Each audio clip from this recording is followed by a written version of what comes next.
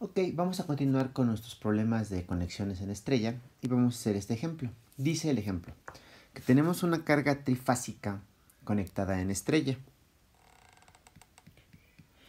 em, y que esta carga está eh, conectada a un sistema eh, en secuencia ABC. ¿Ok? Y el voltaje de la fuente es un voltaje de fase de 120 volts RMS.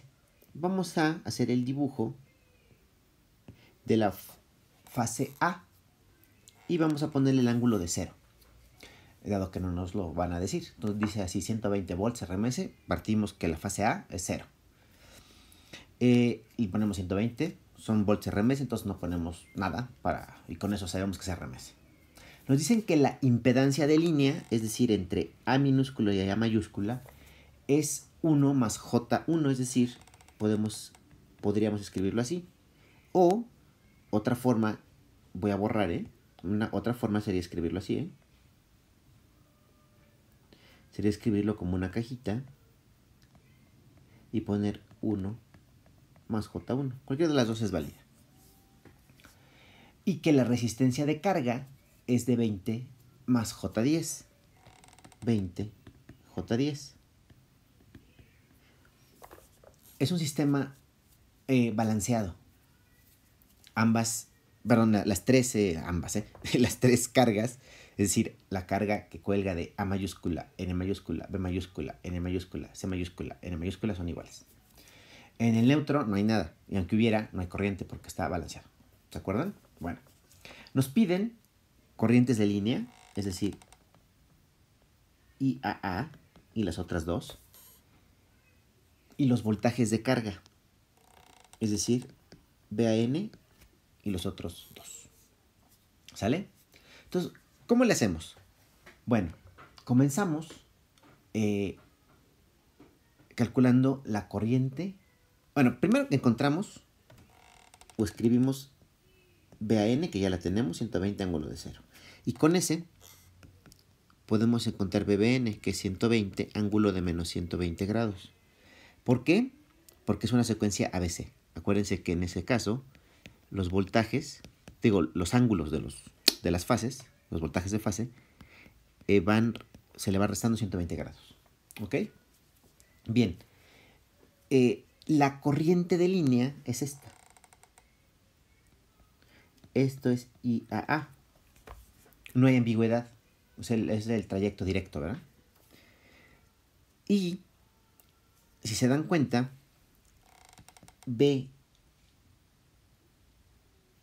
AN dividido entre 1 más J1 más 20 más J10, es decir, entre lo que sería la, toda la impedancia de línea y de carga, esta es la impedancia de carga, load, me va a dar la corriente de línea IA. Entonces hago esa división. Es nuestra pseudo ley de Ohm. Sería 120 ángulo de cero entre 21, no, se movió un poco, no importa, 21 más J11.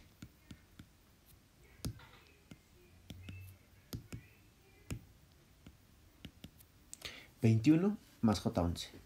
Hago esa división y me queda 5.06 ángulo de menos 27.65.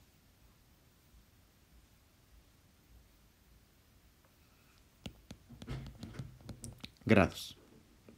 Amper.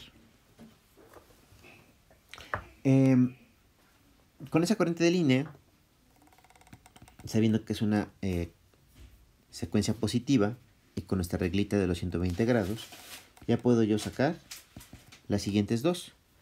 Misma amplitud. Le restamos a 27.65, 120, o sea, hace menos 147.65 grados. Amperes RMS. Ya no le voy a poner nada porque sé que son amperes RMS. E ICC sería 5.06, ángulo de menos 267.65 grados. ¿Ok? Y pues ya no. Ahí están las dos, este, las dos corrientes de línea. Las, las tres, perdón. Ahora, esto ya lo, esto está aquí. Ya lo respondí. Primera, segunda, tercera. Ahora, ¿cómo encuentro los voltajes eh, de las cargas? VAN subíndices mayúsculos. Bueno, pues otra vez con la ley de Ohm, ¿no? O pseudo ley de Ohm. VAN va a ser Z load, la, la de carga, por mi corriente de línea. ¿Estamos de acuerdo? O sea, hace el 20 más J10 por IA, que ya la tengo aquí, ¿no? Está ya. Hago esa multiplicación. Y me da 113.19. Punto 15, perdón. Ángulo de menos 1,08 grados. Y con esta y la regla de los 120 grados por ser secuencia positiva y estar balanceado, tomo la misma amplitud y voy restando el ángulo. Menos 121, le resto 120, ¿verdad?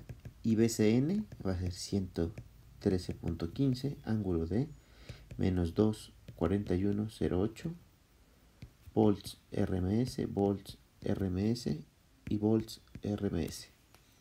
Sé que todos tienen RMS, acuérdense. Ahorita nada más lo puse porque ya lo. Pues porque sí. Pero pues no es necesario, ¿no? Y ya cumplí con la segunda parte de lo que me piden. Y ya estuvo. Esas son las respuestas. Así de fácil. Si recordamos este tema de los 120 grados restados por secuencia positiva, ya estuvo. Eh, y eso sería todo para este problema.